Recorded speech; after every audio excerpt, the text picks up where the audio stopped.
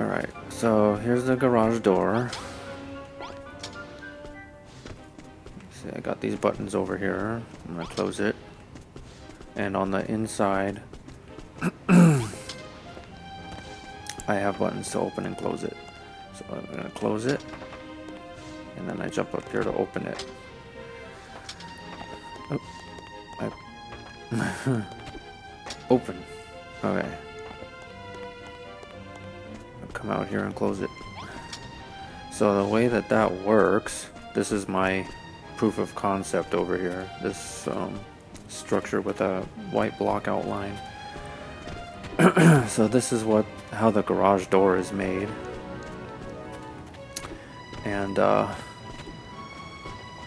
what you don't see are these blocks with the blue are uh, what they call mag magnetic. What are these things called? They're called uh, pusher, downwards pointing pusher, and they they can only work on these these red um, boxes, which you can make, you can camouflage them and make them look like any other kind of. I want to say any other kind of. Uh, craftable object, but I'm, I'm not so sure about that. Anyway, so the way the way that that works, a really simple uh, look at that is with this. oh man, I really gotta hurry it up, or this is gonna be a boring video.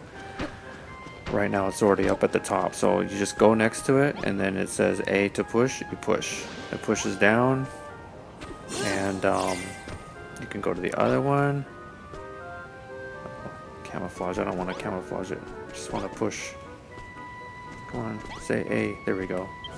There. And uh, you got to have something in its path to stop it. At least one, at least one block. I, I don't know what happens if there's nothing in its way. um, so, but then there's switches. You see, oh, the cat brought me, uh, the cat brought me some wood. Um, the the switches will do the work of pushing A next to the box for you, right? Because if I I can push A next next to the box and that will activate it.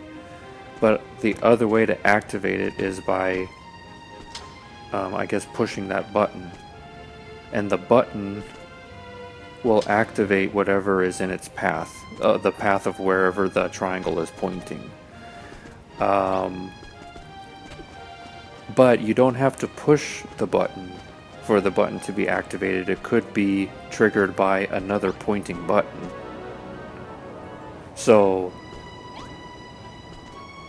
I have one pointing down and one pointing up because up I have another button. So this is the garage closed position, what we're looking at here, right? And that red button, I, I could jump on it and it will activate whatever is in the path of that red arrow, which would be this square and this these are these are the squares that are that can react with the button, right? There's they're, they're special. They they do something. They push something. It pushes it pushes the the red blocks down. We call them magnetic blocks until they until there's something uh, in its path. They stop when they hit something in its path. In this case, it's more of those blocks. So now, oh, see, I, I touch the arrow and it activates those two blocks that are down there. They push, right? They push the door back up. So I've got a, but the buttons, I can activate this button up here, which sends the signal up to this button, which then does its uh, takes its action against these, and that's how that's how it works. And then the the down arrow button points to the button that I have down there, right? It acts on the button that's down here and pushes those up, and that's what's in. That's what I have buried into the ground and hiding in in the walls and stuff.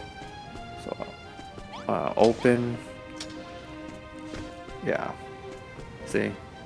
Magnetic block, the blue, blue square with the plus sign looking thing. Kind of looks like a D-pad. And then, um, see these, the, the buttons outside, this is how I'm controlling the door from the outside. But then I want to activate those buttons from the inside, so I just put more buttons that point to them. And it goes through the wall. The signal just goes through the wall. That's for when it's closed. There we go.